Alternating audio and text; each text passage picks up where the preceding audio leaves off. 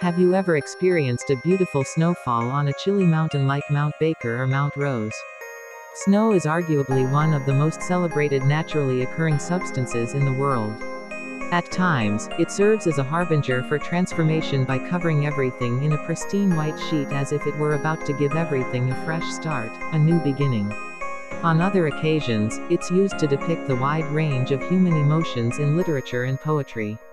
If anyone utters the word, snow, there's a good chance that the first image in your mind is of snow-capped mountains or perhaps fluffy, white celestial particles falling from the sky in the winter. Have you ever wondered why this stunning natural phenomenon? Technically speaking, the snow falling on mountains and other cold regions is actually just frozen water. It is formed of tiny crystals of frozen water and looks a bit like small pieces of cotton. A snowflake is an ice crystal, or an amalgamation of ice crystals, that falls to the earth from the atmosphere boasting a variety of shapes, such as hexagons, stars, flowers, needles and more. Freshly fallen snow also reflects more than 90% of the sun's heat back out into space.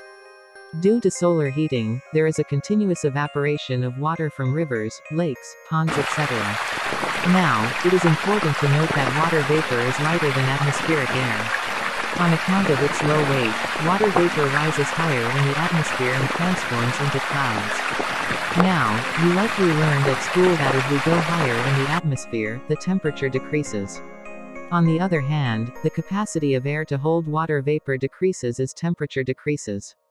At a certain height, the air becomes overloaded with water vapor.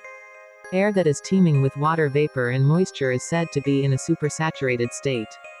Under this state, the water vapor condenses on the smoke and dust particles mixed in the air.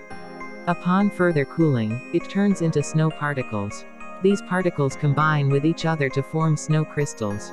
When the air cannot bear the weight of these particles, they fall to Earth as snowflakes and form a blanket of snow on those regions with high enough altitude. Snowfall is incredibly important for our ecosystem. When it melts in the summer, the water flows down to the rivers and other water bodies.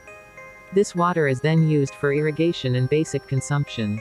Snow also happens to be a bad conductor of heat, due to the trapped air inside it. Thus, it acts like a warm blanket for the earth. This allows both the plants and animals endemic to snowy regions to adapt to the cold environment. Dormancy, seasonal dieback and the survival of seeds are just some of the adaptive mechanisms for plants, whereas animals use techniques like hibernation, insulation, and the storing of feedstock during warm weather to adapt and thrive in snowy areas. Humans residing in snow-prone areas often make their houses out of the snow, as it provides surprisingly good protection against cold weather.